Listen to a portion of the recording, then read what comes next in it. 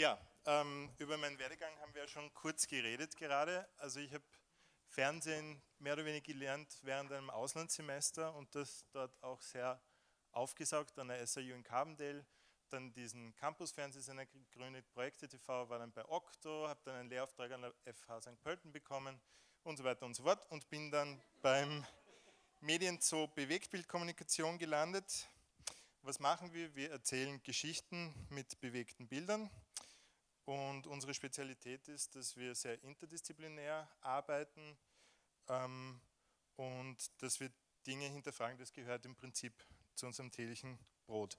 Ja, das sind diese Herrschaften hier übrigens alles Männer, die haben mehr oder weniger den Grundstein für das Fernsehen gelegt.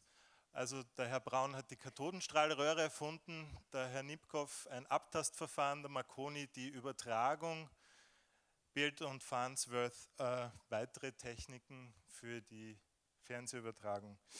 Ähm, 1936 dann mit den Olympischen Spielen, ja zum ersten Mal äh, wirklich im Regelbetrieb. Ja, begonnen hat es mit terrestrisch, dann gab Farbfernsehen mit NTSC in Amerika, PAL in Österreich, äh, in Europa, Kabelfernsehen, 105 VHS. Minuten müsste es 10 Uhr sein. Dali, Dali. Kochen. Bravsen. Also ich muss ganz ehrlich sagen, ich bin wirklich gerührt. Der nächste Musikantenstadel kommt am 10. November live aus der Sporthalle in Steyr. Ja, ähm, in dieser Zeit war Fernsehen das Leitmedium schlechthin. Es ist es nach wie vor, aber nicht mehr in dem Ausmaß. Äh, weitere Entwicklungen waren dann Teletext, äh, die Satellitenrevolution Ende der 80er Jahre mit den ganzen privaten Sendern, die kamen. PAL Plus, 16 zu 9, analoges Fernsehen und äh, mit der Fußball-EM 2008 ORF 1 in HD, übrigens der erste HD-Sender in Europa. Ähm, ja, die Kabelsat-Revolution ist dann mit der Terrestrik, mit der digitalen Terrestrik gekommen. Niemand wollte eine DVB-T-Box ums gleiche Geld kaufen wie eine DVB-S-Box und ähm, führte zur Granularisierung, Segmentierung des Marktes. Hier sieht man die zwei verschiedenen Modelle. Das links ist das dialogische Medium Fernsehen, einer zu vielen und rechts das vernetzte Modell des Internets. Ich will ja eigentlich äh, heute auch ein bisschen über das Internet sprechen. Das Internet äh, ging ähm, aus dem APA-Projekt hervor in den USA. Das war so das erste Gateway in dieses Netz, beziehungsweise dass die Großrechenanlagen der Unis miteinander verbunden hat. Die Idee war, dass man gleichberechtigt auf Augenhöhe Endknoten miteinander verbindet. Ja, dieses Geräusch kennen wir auch alle noch. Ähm, der Webbrowser wurde dann erst in den 90er Jahren entwickelt. 2001 gab es dann gleich darauf den Dotcom-Crash. Dann kam das Web 2.0 mit Blogging und Social Media und mittlerweile ist das Web organisiert oder wird organisiert, vornehmlich von Google und ist das Web 3.0, wenn man so will, das Semantic Web.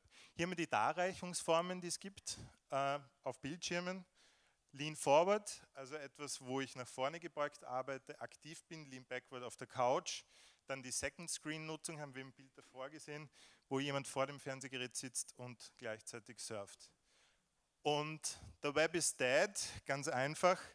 80% des Web-Traffics wurde gebrowst. Mit dem Aufkommen des iPads ist es aber extrem hinuntergegangen, da die Apps jetzt gekommen sind. Wir geben eigentlich durch den Kauf eines Apps irrsinnig viel her, weil wir einerseits unsere Adressdaten zum Beispiel freiwillig preisgeben. Andererseits ist die Kommunikation nicht mehr auf gleicher Ebene. Wir sind eigentlich in so einer Art Schrebergarten aus Apps und nicht mehr im offenen Internet. So, hier weiter die Entwicklung des Fernsehens. Uh, Smart TV und auch HBB TV ist im Prinzip die Verbindung des, der Set-Top-Box mit dem Internet mit Zusatznutzen in Form von uh, Kaufangeboten. Im Prinzip ist es eine Dienstleistung für die Werbung, aber auch für die Unterhaltung. Ich kann online äh, Filme kaufen, Gaming machen, Fitness und so weiter.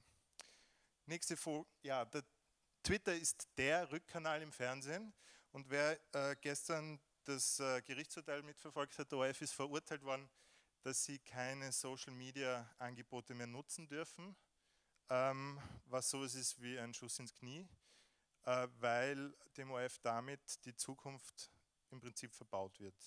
Der Rückkanal fehlt komplett, der Rückkanal, der sich nämlich genau aus diesen Social-Media-Angeboten zusammensetzt. Die User twittern, was geschaut wird, die Userin oder der User ähm, interagiert mit dem Fernsehprogramm. Was gibt es dann noch? Es gibt den dritten Mediensektor, wo ich eben gearbeitet habe bei einem partizipativen Fernsehsender wie Okto. Ähm, das ist ein Bereich, wo Bürger, Bürgerinnen selber Fernsehen machen. Ähm, sehr spannender Bereich, der im Prinzip mit YouTube auch im Hier und Jetzt angekommen ist. Ja, die Zukunft der Sender, die Sender werden sich nur behaupten können, wenn sie auch wirklich relevante Produktionen machen. Dazu gehört nicht der Einheitsbrei aus äh, US-amerikanischen Serien, sondern ganz bestimmt äh, Public Value Programme, bedeutet öffentlicher Mehrwert und Programme, die äh, originär sind und lokal produziert sind, lokalen Mehrwert haben. Ähm, ja, wie geht es weiter? Also wir vom Medienzoo glauben, dass eine weitere Personalisierung stattfinden wird im Web. Es wird sich mehr oder weniger jeder selber seinen Sender gestalten mit den Tools, die es gibt, den technischen. Und ähm, wir wollen da mitmischen.